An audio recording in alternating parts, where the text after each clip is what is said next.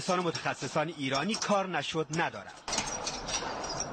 این بار توانستن رادیاتورهای خنک کننده نیروگاهی در شیراز را تولید کنند. نام اصلی این دستگاه کندانسور هوا خنک است. برای اولین بار در نه تنها در سطح کشور بلکه در سطح خاورمیانه تولید شده.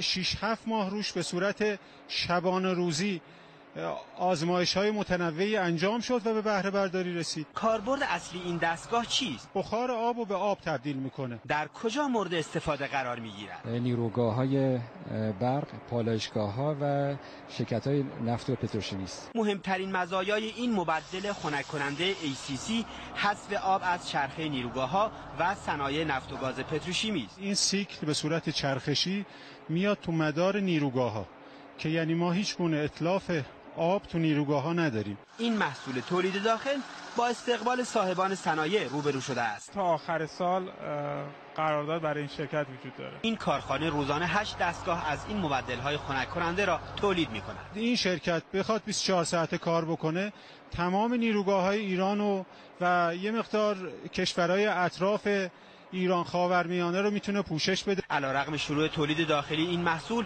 واردات آن همچنان ادامه دارد. ما انتظار داریم که با صاحبان صنایع و صاحبان امر با ما مهربانانه تر رفتار کنن ما رو ببینن جایگاه ما رو در تولید این محصول ببینند ایران چهارمین کشوری است که توانسته به این تکنولوژی دست یابد. اگر جلوی واردات بیرویه این محصول گرفته بشه علاوه بر تولید اشتغال بیشتر سالانه از خروج حدود 20 میلیون دلار ارز از کشور هم جلوگیری خواهد شد.